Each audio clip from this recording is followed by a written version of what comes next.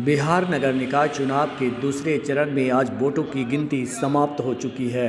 राज्य के सत्रह निगमों के अलावा तेईस जिला मुख्यालयों में सुबह आठ बजे से अड़सठ निकायों की मतगणना हुई। पटना नगर निगम चुनाव की काउंटिंग भी हो गया है। पटना में मेयर पद पर सीता साहू जीत गई हैं। इससे पहले सीता साहू की जीत तय मानी जा रही थी। सीता साहू पटना की निवर्तमान मेयर रह चुकी हैं। वहीं पटना के डिप्टी मेयर पद पर रेशमी चंद्रवंशी की जीत हुई है। इन दोनों ने क्या कुछ कहा जीत के बाद? आइए सुनते हैं।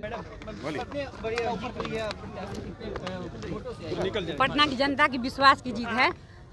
और जो मैंने काम पाँच साल की है जनता उसी पर मेरे काम पर फिर दोबारा मेयर बनाई है। मैं जनता के प्यार और स्नेह की बदौलत जीती हूँ और उनके विश्वास में मैं खड़ी उतरूँगी। क्या प्राथमिकता होगी अब? विकास बहुत से मैंने पाँच साल में बहुत काम कम संसाधन मैंने किए हैं। अब मैं सभी का जो बचा है काम मैं उनको पूरा बहुत पूरा करूँगी और उनके विश्वास से मैं खड़ी उतरूँगी। स्वच्छता में टॉप टेन में आ जाएगा पटना? हम तो कोशिश करेंगे वन में आए।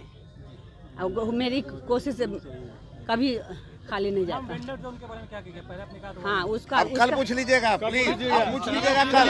धन्यवाद धन्यवाद। धन्यवाद। धन्यवाद चलिए नीचे बाकी अभी तो कैसे चलेगा?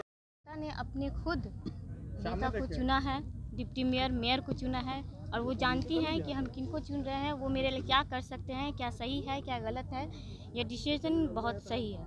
अभी क्या क्या पहली प्राथमिकता क्या होगी? चुनाव जीती है पहली मेरी प्राथमिकता प्राथमिकता यही होगी मैंने पहले भी कहा है मैं अगर जीत के आती हूँ अब तो जीत ही गई हूँ तो मैं तीन सौ पे कार्य करूँगी। तीन सौ का मतलब सुविधा स्वास्थ्य स्वच्छता। मेरी प्राथमिकता रहेगी महिला सुरक्षा महिला स्वास्थ्य महिला आत्मनिर्भरता। और जितने भी वार्ड हैं उन सभी वार्डों की सुरक्षा करना चाहे वो जैसे भी समस्याएँ हैं उन सभी को हल करना। इतना घूमी है अभी तक क्या लगा? सबसे ज़्यादा समस्या क्या है पटना में? देखिए कुछ कुछ समस्या हैं ऐसे तो सीता सीता चाची जी ने सॉल्व की ही है लेकिन कुछ कुछ जगह है जो पानी की है कचरे की है वो हम लोग अब जीत के आ ही रहे हैं वो सारी समस्या हम लोग मिलकर सॉल्व करेंगे। मुकाबला सुरक्षा लेके सीसीटीवी कैमरा वगैरह अभी तक वार्ड की तरफ़ से कहीं भी कहीं नहीं लगा पड़ा। नहीं लगा। ठीक है वो भी लगेगा हम लोग उस पर जी जी बिल्कुल हम लोग उस पर भी वर्क करेंगे। चलिए ठीक है थैंक यू